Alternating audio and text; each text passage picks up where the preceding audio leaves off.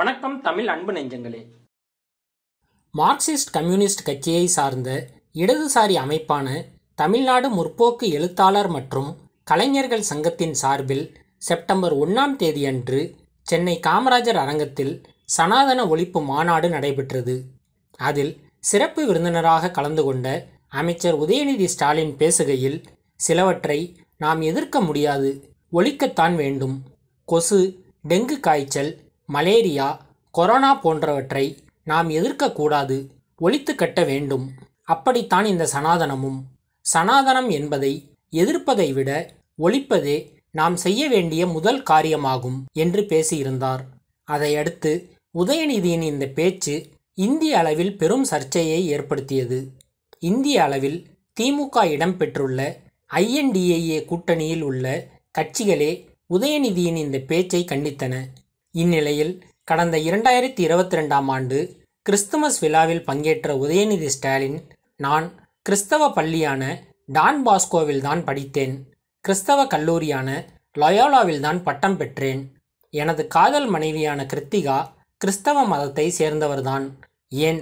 நானே கிறிஸ்தவன்தான் நான் கிறிஸ்தவ மதத்தை சேர்ந்தவன் என்பதில் பெருமை கொள்கிறேன் என பேசியிருந்தார். இதை சுட்டிக்காட்டும் இந்து மத ஆதரவாளர்கள் உதயநிதி கிறிஸ்தவர் என்பதால்தான் இந்து மதத்தின் மற்றொரு பெயரான சனாதன தர்மத்தை ஒழிப்பேன் என்கிறார்.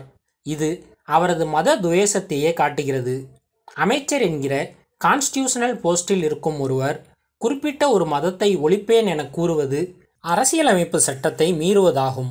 எனவே அவர் மீது சட்ட ரீதியாக கடும் நடவடிக்கை எடுக்க வேண்டும் என போர்க்கொடி தூக்கி வருகின்றனர்.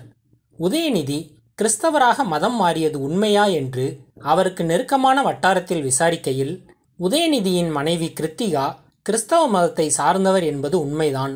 ஆனால் உதயநிதி தன்னை கடவுள் மறுப்பாளர் என்றே அடையாளப்படுத்திக் கொள்பவர். அவர் சட்ட ரீதியாக கிறிஸ்தவ மதத்தை தழுவவில்லை. பாஜகவினரை வெறுப்பேற்றவும் திமுகவிற்கு தொடர்ந்து ஆதரவு அளித்து வரும் கிறிஸ்தவர்களை உற்சாகப்படுத்தவுமே கடந்த ஆண்டு நடைபெற்ற கிறிஸ்துமஸ் விழாவில் நானும் கிறிஸ்தவன்தான் என்று அவர் கூறியதாக தெரிவிக்கின்றனர்.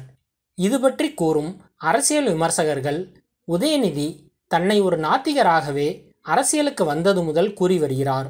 ஆனால் கடந்த சட்டமன்ற தேர்தல் சமயத்தில் இந்து ஓட்டுக்கள் திமுகவிற்கு கிடைக்காமல் போய்விடுமோ என்கிற அச்சத்தில் பொது மேடையிலேயே கடவுள் முருகனின் அடையாளமான வேலை உயர்த்தி பிடித்து காட்சி தந்தார்.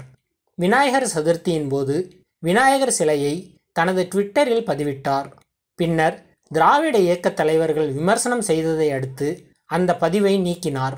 தேர்தல் பிரச்சாரத்தின் போது இந்து சமய ஆதீனங்களை சந்தித்து அவர்களிடம் விபூதி பூசிக்கொண்டு ஆசி பெற்றார்.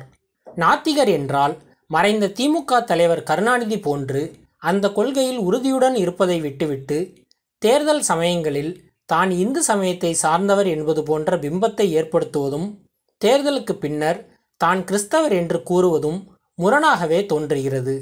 இன்றைய சமூக ஊடக காலத்தில் அரசியல் தலைவர்களின் அனைத்து நடவடிக்கைகளையும் மக்கள் உன்னிப்பாக கவனித்து வருகின்றனர். இப்படி மாற்றி மாற்றி பேசுவதால் உதயநிதியின் நம்பகத்தன்மை மக்களிடையே கேள்விக்குறி ஆகிவிடும் என்கின்றனர். சனாதன தர்மம் என்றால் ஆதியும் அந்தமும் அற்ற நிலையான இந்து மத கோட்பாடு என்றுதான் பொருள்படும். ஆங்கிலேய அகராதி முதற்கொண்டு பல்வேறு நூல்களும் இதே அர்த்தத்தை தான் கூறுகின்றன. இந்த புரிதல் இல்லாமல் உதயநிதி பேசினாரா? அல்லது தெரிந்தேதான் பேசினாரா என்பது உதயநிதிக்கே வெளிச்சம். ஒருவேளை சாதிய ஏற்றத்தாழ்வுகள் பற்றி உதயநிதி கவலை கொண்டிருந்தால் வர்ணாசிரம தர்மத்தையோ சாதிய கோட்பாடுகளையோ அழிக்க வேண்டும் என்று உதயநிதி பேசியிருக்கலாமே ஒழிய சனாதன தர்மத்தை அழிக்க வேண்டும் என்று உதயநிதி பேசியது ஏற்றுக்கொள்ளக்கூடியதல்ல என்கின்றனர் இந்து சமய பண்டிதர்கள். மேலும் இது போன்ற செய்திகளை தொடர்ந்து பெற்றிட தமிழ் ட்ரெண்டிங் சேனலை சப்ஸ்கிரைப் செய்யுங்கள். உங்கள் கருத்துக்களை கமெண்டில் பதிவிடுங்கள். நன்றி.